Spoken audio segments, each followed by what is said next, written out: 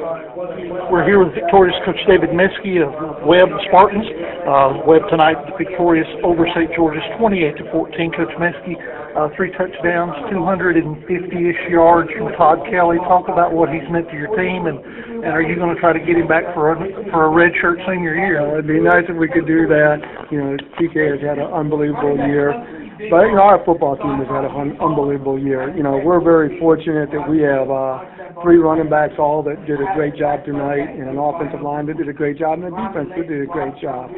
Um, you know, TK made made some plays in the first half, made some plays in the second half. Um, the interception by Matthew um, in the second half was a key play, and I love the how hard Robbie Strong ran the ball in the second half. I thought that there were two specific turnovers that really were momentum changers. The first quarter, uh, they got the strip down going in onto the goal line, and then, like you said, uh, Melton's uh, Melton's interception that really sealed the deal. I thought it changed the momentum that you guys drastically needed it, right? We did. Um, we needed to have a big play, and um, you know he was the defensive MVP as a freshman. Um, so he knows how to make plays, and he made a great play tonight, and uh, that got us going. And then um, and offensively, again, we were able to get first downs and move the ball down the field. And defensively, we played really well.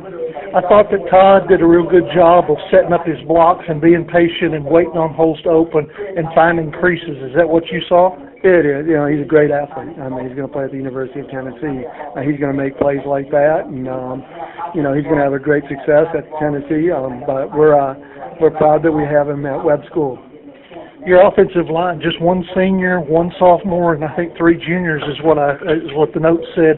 Uh, what what can you say about them, and and how proud are you of, of their progress? I'm, I'm extremely proud of our offensive line, and uh, Coach Julian has done a great job coaching them with Coach Scott and Coach Sellers.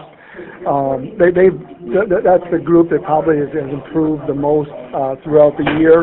Um, we're bigger than we normally are. We have some size up front and uh, we have two guards, uh, Andrew Campbell and uh, Brant Mitchell, who can run really well.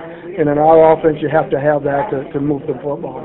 Well, Mitchell is also your punter, so you guard. You you, you are, are you always looking for a great athlete as your guard? Absolutely. He's a fullback. You know, you, you know, we'll, we may move him to fullback next year. Um, but he's someone that we had to have. We lost uh, Carter Thomas early in the year, so he, you know, he's a team player, and he said, "Hey, coach, I'll, I'll, I'll play guard," and he did a great job, and that's what we expect out of our kids. This is your fourth in five years, and your sixth four, your your sixth state title at Webb. Does it get old? It never, it never gets old. It's always different. The kids are always different, um, so it's always an exciting time. Thanks for your time.